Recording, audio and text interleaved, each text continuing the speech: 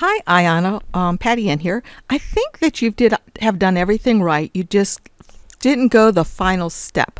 Let me show you. So if you grab a shape like you did the square, and you bring it over here, and then you have the square selected over here on the right or over here, hold down your shift key, and if over here on the right you click this, then both things are selected, as I'm sure you probably did.